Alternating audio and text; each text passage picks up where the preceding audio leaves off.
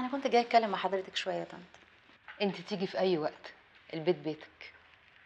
هو حضرتك ليه ما جيتيش الخطوبة؟ عماد قال لي إنك كنتي تعبانة سلامتك. لا ما كنتش تعبانة. كنت زعلانة إن أنتوا ما قدرتوش عماد.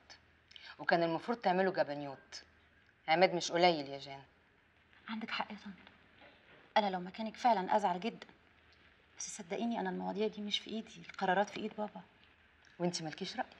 إزاي؟ ليا طبعا. بس عندي حدود يعني ما أقدرش اتعداها.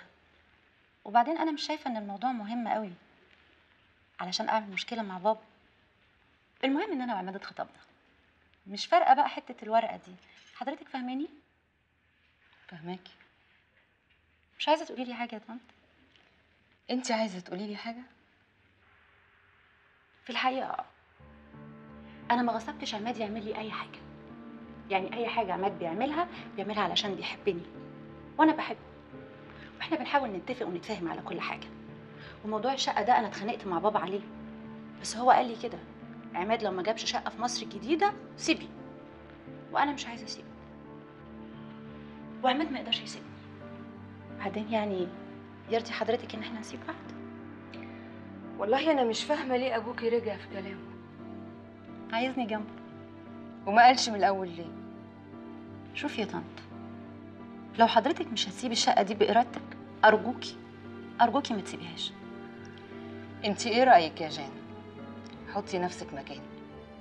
لو انت مكاني هتعملي إيه؟ هدور على سعادة ابني طبعا زي ما ماما وبابا بيعملوا معايا بالظبط.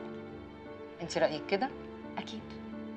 أي أب وأم بيحطوا مصلحة أولادهم اولا. بعدين بيبقى عندهم وجهة نظر كده يعني إنهم مش هيعيشوا قد اللي عاشوه. كتر خيرك يا ستي. ما أنا كده كده ربنا هياخدني. ليه كده يا طنط؟ ليه؟ بعد الشر عنك حضرتك فهمتيني غلط. أنا ما أقصدش كده خالص. أنا قصدي إن أكيد اللي يسعد عماد يسعدك. مش هو أغلى حاجة عندك صح؟ صح. مبروك عليك يا عماد يا جان. أنا ملاحظة يا طنط من ساعة ما جيت ما قلتليش مبروك. اديني قلتها لك يا ستي. الله يبارك فيكي. بس أنا في حاجة مهمة عايزة أقولها لحضرتك. أرجوكي ما تتسببليش في أي إحراج تاني.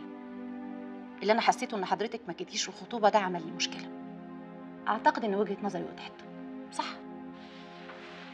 خليكي يا طنط مكانك. أنا عارفة البيت ده كويس قوي